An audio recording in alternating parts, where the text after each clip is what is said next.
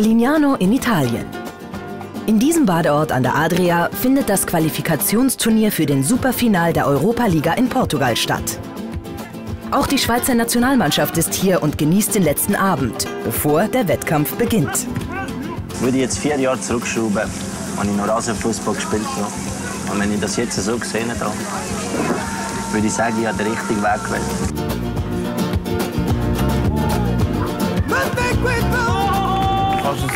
Land vertreten. Du spielst immer noch Fußball, einfach auf Sand. Du spielst meistens am Meer, schön Wetter. Das kann man nicht zahlen, das erlebt man einfach. Aber ich will nicht sagen, dass wir wenig machen. Wir trainieren auch drei bis vier Mal in der Woche. Wir sind den ganzen Sommer unterwegs. Es ist nicht ein anderes, ein anderes Shooten. Es ist einfach ganz andere Sportart, das kann man sagen. Natürlich ist es so, dass wenn jemand Ronaldinho heisst, der geht zu Barcelona nicht Bissau spielen, der kann das große Geld verdienen. Aber es gibt Millionen von Fußballern, die gut sind, die sehr gut sind und die sich für die neue Sportart entscheiden. Und das ist wichtig. Die können hier etwas kreieren, die können etwas aufbauen. Das ist doch schön. Eben, und so etwas schätze ich zum Beispiel auch im Beachsoccer, oder? Das Wetter ist genial, man hört das Meer rauschen. Trotz allem Spaß sind die Schweizer aber auch hier, um nach der verpassten WM-Qualifikation zu beweisen, dass sie dennoch zu den internationalen Top-Teams gehören. Wir spielen immer guten Beachsoccer. Und dann haben wir wieder einen Halbierpunkt. Und wir haben keine richtigen Highlights, haben wir jetzt schon lange gehabt. Und ich fordere jetzt wieder ein Highlight. Das ist ganz wichtig. Mir macht es keinen Spaß, wenn man von der Schweizer sagt, sie sind gut. Und dann verlieren wir die, die wichtig. Mir wäre es lieber, wir sagen, wir sind die grösste Scheiße, wir gewinnen jede Partie. Amigs würde ich mir wünschen, dass dann ein bisschen so die Mentalität, so ein bisschen, die Winnermentalität ein bisschen mehr wäre. Und das, das haben wir im Schweizer Sport, ist das ein bisschen das Problem. Wir, haben, wir sind ein bisschen gesättigt. Wir, haben nicht so, wir müssen uns nicht mehr so durchsetzen, um irgendetwas erreichen in der Schweiz. Und das, haben wir, das geht uns ein bisschen ab. Da, glaube ich, kann ich Amix ein Vorbild sein. Und das möchte ich, das lebe ich auch. Das ist Amix vielleicht auch ein bisschen übermotiviert, das gehört auch ein bisschen dazu. Aber ich glaube, da kann ich ein Vorbild sein und das möchte ich weitergeben an den Spieler. Spanien und Italien gelten als Favoriten für den Turniersieg in Lignano. Doch die Schweizer wollen hier ebenfalls ein Wörtchen mitreden. Und der Sand behagt den Schweizern offensichtlich. Also der Sand kommt jetzt gerade so Spieler wie Stefan Loy oder, einem, oder auch ihm und, und auch mir. Das kommt ihnen mehr entgegen, weil das ist ein Sand, der relativ eben ist, wo man gerade aus dem Sand raus kann nicht schiessen Und das Gute ist eben, dass der Ball in dem Sand, der rollt sehr schnell, also der versinkt nicht gerade, oder wie wenn es in einem tieferen Sand. Das Auftaktspiel gegen Österreich ist ein erster Test für die Ambitionen der Schweizer. Hey Angelo! Gut, super!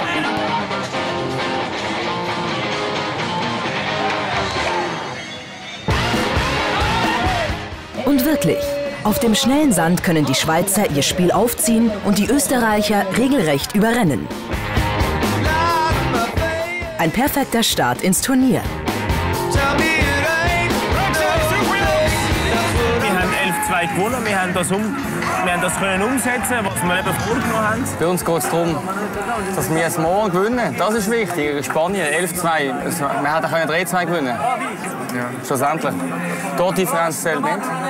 Einen Sieg sind die Schweizer von der Qualifikation für den Superfinal in Portugal entfernt.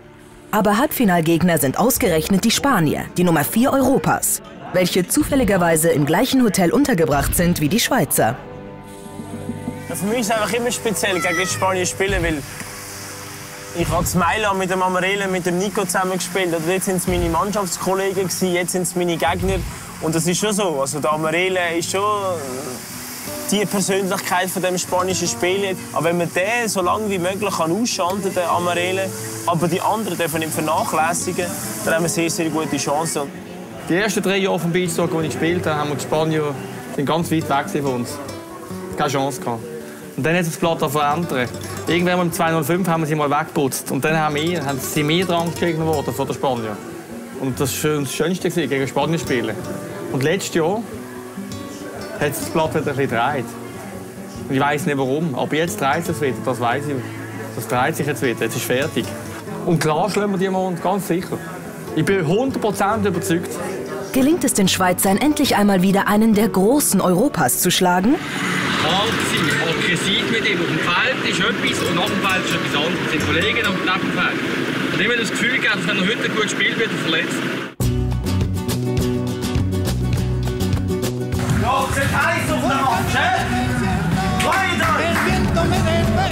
Alter, voll Schub. Mit viel Körpereinsatz steigen die Schweizer in die Zweikämpfe. Dank einer geschlossenen Mannschaftsleistung gelingt es ihnen, die Sturmläufe des spanischen Captains Amarelle zu unterbinden.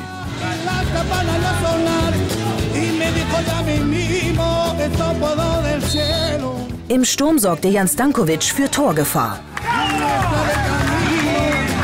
Und selbst Torhüter Nico versucht sich im Tore schießen. Doch heute ist Stefan Meyers Tag.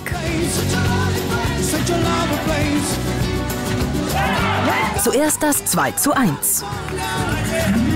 Und ein weiteres Mal setzt er sich wiederum technisch perfekt gegen die spanische Verteidigung durch.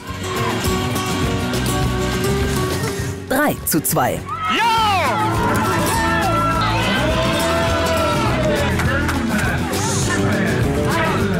Hey, geil, Alter! Mach weiter so!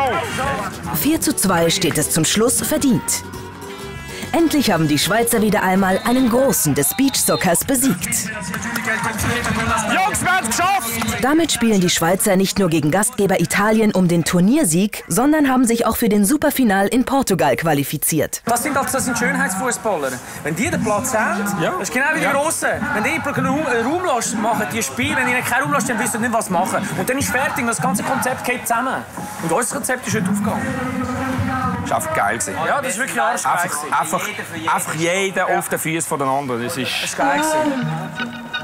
I love the colorful clothes you wear and the way the sun Ich wüsste gar nicht, wie wichtig das ist für, unsere, für, unsere, für die ganze Bewegung vom Beachsoccer. Hat er das Spiel nicht gewonnen, hat er heute eine Zitterpartie gehabt. Ich will gar nicht davon schwätzen eigentlich. Aber es geht einfach darum, äh, bei einer Nicht-Qualifikation hat das für uns bedeutet, nächstes Jahr World Cup Qualifier, ein ganz schlechtes Ranking. Hat bedeutet keine Europameisterschaft, wenn wir nicht um die ersten acht gekommen wären. Es sind einfach so viele Sachen, die daran hängen. Einladungen. Wir haben wieder Spanien geschlagen, wir sind wieder dabei. Es geht einfach alles sehr wichtig.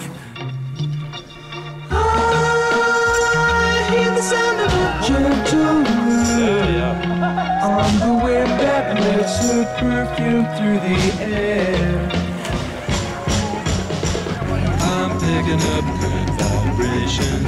She's giving me the excitations. I'm picking up Also Italien jetzt oben, ist klar. Wir, sind, wir spielen in einem Stadion, das voll wird sein. Das ganze Publikum wird, wird hinter den Italienern sein. Sie werden sie anführen, aber wenn wir spielen wie gegen Spanien gestern, wo wir eine unglaubliche äh, Leistung gebracht haben taktisch-technischen Bereich und, und gegangen sind, 100 Prozent, wenn wir so spielen, dann werden die Italiener heute oben auch verlieren. Eine starke Schweizer Mannschaft mit, mit 10 Leuten, die alles geben fürs Land. Im Stadion nähert sich die Stimmung dem Siedepunkt. Als überzähliger Spieler fiebert Orazio Ferranti auf der Tribüne mit.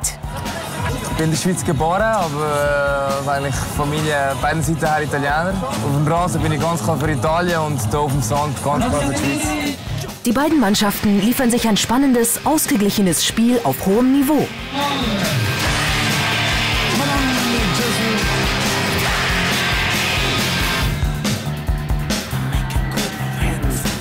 Immer wieder gelingt es den Italienern, in Führung zu gehen. Doch die Schweizer geben nicht auf. Und gleichen jedes Mal auf spektakuläre Weise aus. Kurz vor Ende des letzten Drittels dieses Tor. 5 zu 4 für die Italiener und nur noch wenige Minuten zu spielen. Es gibt Mannschaften, die versinken jetzt. Das machen wir nicht. Ein Goal brauchen wir nur ein Goal. Und einmal mehr kämpft sich Stefan Meyer durch die italienische Abwehr. 5 zu 5. Doch sein Torjubel artet zur unnötigen Provokation aus. Da habe ich gedacht, Scheiße, Meier, hast einen riesen Fehler gemacht. Da bin ich wirklich bin ich über, habe mich wollte entschuldigen und das ist glaube ich, wirklich der falsche Moment. Aber ich habe es wirklich nur gut gemeint. Ruhe, Ruhe. Lieber Penalty. Oh, oh, oh. Die haben gemeint, ich will noch mal rübergehen, provozieren oder irgendwie dumme Sachen sagen. Das stimmt wirklich nicht, ich kann mich wirklich entschuldigen. Für eine gut gemeinte Geste im falschen Moment erhält Meyer die Höchststrafe, muss unter Pfiffen das Stadion verlassen und fehlt dem Team in der Verlängerung. Da die Verlängerung jedoch keine Entscheidung bringt, kommt es zum Penalty-Schießen. Es wird fantastisch. Der entscheidende Penalty. Loy trifft. Nun stehen die Italiener unter Zugzwang.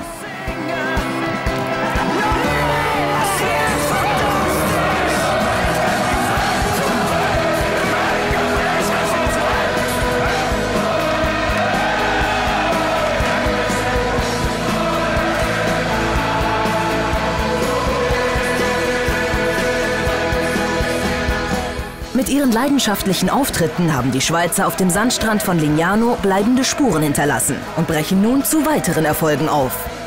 In der nächsten Sendung am kommenden Dienstag, 28.10. um 18 Uhr auf Pro7. Die Turniere der GE Moneybank Tour in Zürich und Bern sowie der Superfinal in Portugal.